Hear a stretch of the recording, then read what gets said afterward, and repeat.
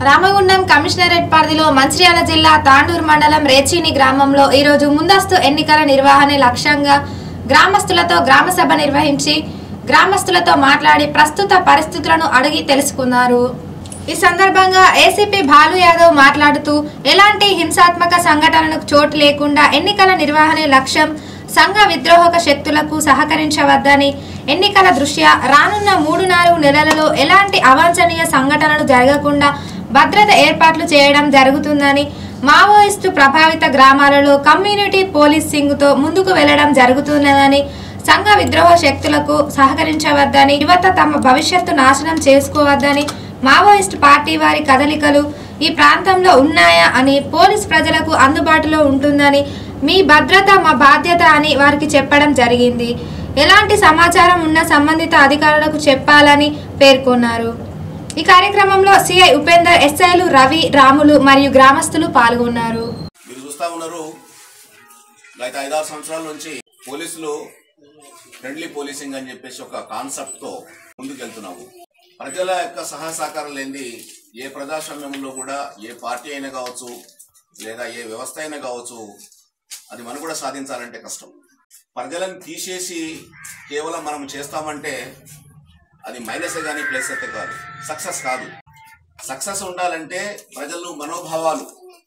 ప్రజలు ఏమనుకుంటున్నారు? ప్రజలు ఏ విధంగా ఉండాలనుకుంటున్నారు? ప్రజలు ఏం కోరుకుంటున్నారు?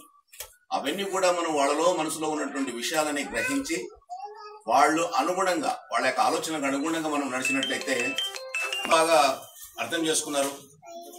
పోలీసులు వాళ్ళకు కష్టపడ్డారు. ఆ ఇద్దరు కలిసి పనిచేయటం వల్ల సక్సెస్ సాధించి వాళ్ళని మనం దరిచేయనివ్వకుండా ఇవాళ మనం కలిసి ఒకళ్ళొకళ్ళు అర్థం చేసుకొని ఒకళ్ళొక సహాయ సహకారాలు అందించుకొని మనం ముందుకెళ్తున్నాం. ఈ యొక్క నడక ఈ యొక్క ప్రయాణం ఎల్లవేళలా ఇట్లే విధంగా కొనసాగాలి. పోలీసులు అంటే ఎక్కడి నుంచో వచ్చిన వాళ్ళు కాదు. పోలీసులు అంటే మీ దగ్గర నుంచి వచ్చిన వాళ్ళే మీ లక్క ఉద్యోగరీత్యా ఉద్యోగం కోసం ప్రయత్నం చేసి ఏదో ఎగ్జామ్ రాసి అన్ని కష్టపడి మేము కూడా ఉద్యోగాలు సంపాదించుకున్నాం. మాకు కూడా వ్యవసాయ కుటుంబం మధ్యతరగతి కుటుంబం ఎన్నో బాధలు పడేటువంటి కుటుంబం. ఇలా మరి ఈ విధంగా ఉండటానికి కొంత కృషి కొంత బ్యాక్గ్రౌండ్ ఈ రెండు ఉన్నాయి. కాబట్టి మేమేదో పైనుంచి వచ్చేసి మాకు ఎన్ని ఉన్నాయి మాకు అన్ని చేయడానికి అని కాదు. మేము వచ్చింది ఇక్కడ మీ సేవ చేయడానికి మీ మీద పెత్తనం చేయడానికి కాదు. ఇక మీకు తెలుసో తెలియదో మాకు ఇచ్చే జీతం ఎవరిస్తున్నారు చెప్పాలి. మా ప్రజలు ప్రజల లేక శాంతిని కలగనివ్వకుండా ఏదో ఊళ్ళో గొడవ చేయడానికి ప్రయత్నం చేస్తారు. ఎంతమంది ఉంటారు? తొంభై మంది తొంభై తొమ్మిది మంది మంచిగా ఉంటారు. ఒక్కళ్ళిద్దరు మాత్రం చేస్తారు. వాళ్ళపైన మేము చట్టపరమైన చర్యలు తీసుకుంటాం. అందులో డౌట్ లేదు.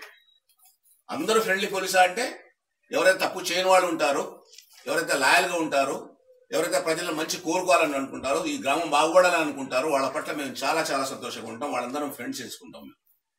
మీరు చూస్తారో చూడరో ఒకప్పుడు పోలీసులు పోవాలంటే ఒక నాయకుడు కావాలి మనం. ఫైరవ్ చేయాలి. ఆయన వచ్చి ఏదైనా చెప్తే ఆ ఎస్ఐ గారికో సిఐ గారికి చెప్తే ఆయన చెప్తేనే వదిలిపెట్టే పరిస్థితులు ఉంటాయి.